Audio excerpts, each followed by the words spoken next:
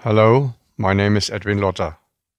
I'm CEO of LP Montagetechnik, a German company which plans, develops, and implements manual and semi-automated assembly workstations, respectively assembly lines, such as one-piece flow systems and so on. In this training video, I will explain some basic information about MTM in general, its origin, and the main advantages in using this method.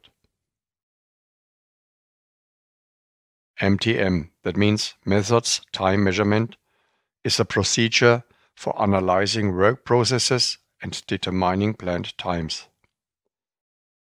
MTM is ideal to create work processes to achieve high benefit and to eliminate waste already in the planning phase. Furthermore, the use of MTM helps to design workplaces more ergonomically to ensure that work does not make the worker sick. And of course, this is an important aspect and one of the main approaches.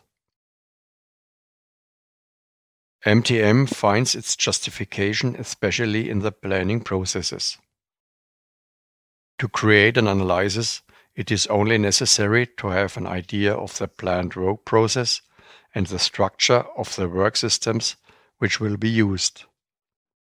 In contrast to the time recording by means of stopwatch, like for example REFA technicians do, it is not necessary to find an existing process or workplace for the application of the MTM method. Therefore, MTM is an appropriate tool to calculate working times before the equipment is available.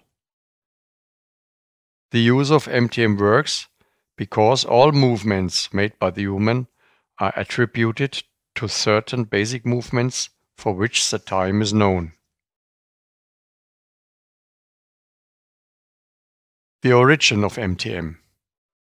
Three American ergonomists, Mr. Maynard, Mr. Schwab, and Mr. Stegemerten, had a consulting contract from Westinghouse Electric Corporation and developed the basic data process of the MTM between 1940 and 1948. In the 1960s, MTM was expanded and modified to the systems we use today. The current medium at that time was 16 mm film. You can imagine no computers or such modern things we use today were available at that time. The idea for the development of MTM was therefore to record all manual activities that humans can carry out several times and thereby obtain average values derived from the recorded time values. The medium of 16 mm film creates 100,000 pictures per hour. This means that one picture is the time equivalent of one part of 100,000 parts in one hour.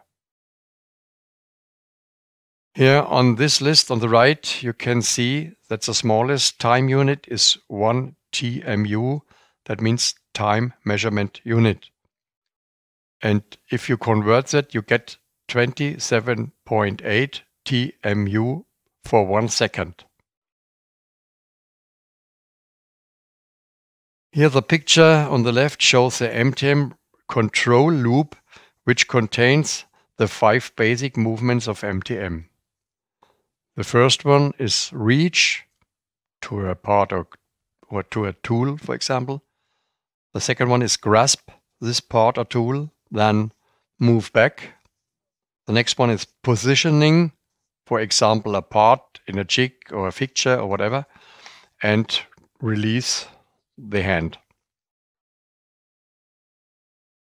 These basic motion elements are supplemented by additional elements like walking, bend over, straighten up, visual control, handling tools, and so on. Here on the right, you can see a list of advantages of MTM. So MTM is applicable in every branch of the economy, is generally understandable, can be learned without special prior knowledge, is internationally identical handling, Execution time is self-evident with the given method. due to the worldwide uniform coding of the movement elements, MTM is valid worldwide and is understood by all trained people.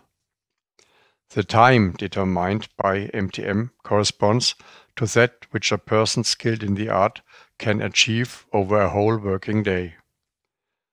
But what we have to consider is that mental work or process times, such as screwing times or soldering processes, and so on, are not dedicable by MTM codes.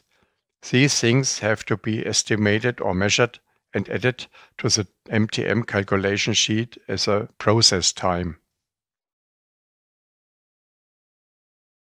The results of the analysis are useful for planning future operations, calculations, change management, and very important optimization of, uh, for example, existing assembly systems and visualization of current process state. Yeah, here can you see on the right uh, picture of primary and secondary analysis. Primary and secondary effort means the distinction of effort which brings a value in terms of customers benefit.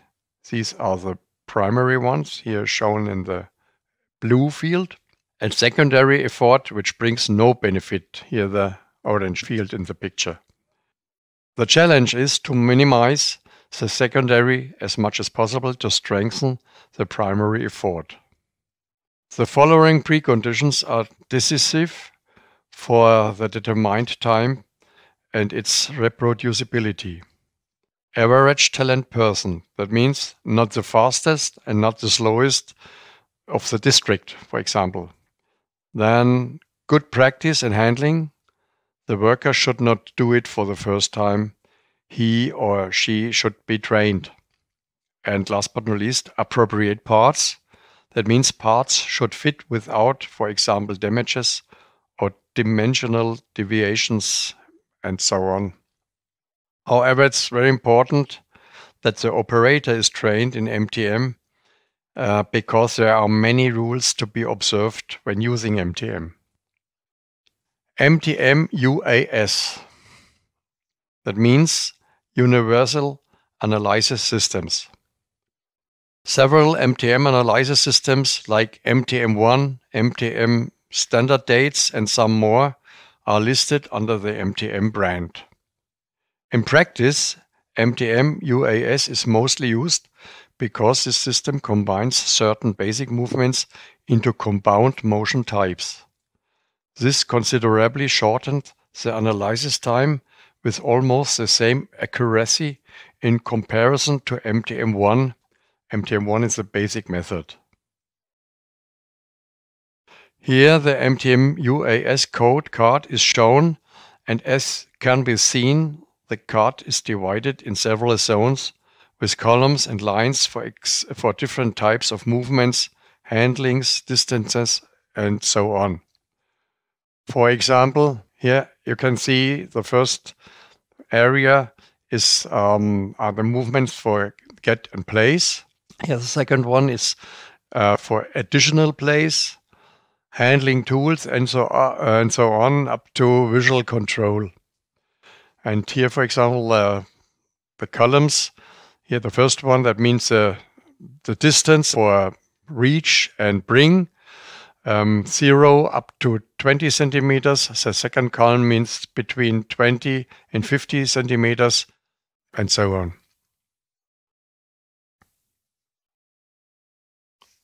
What formats and standards can be used for the MTM calculation?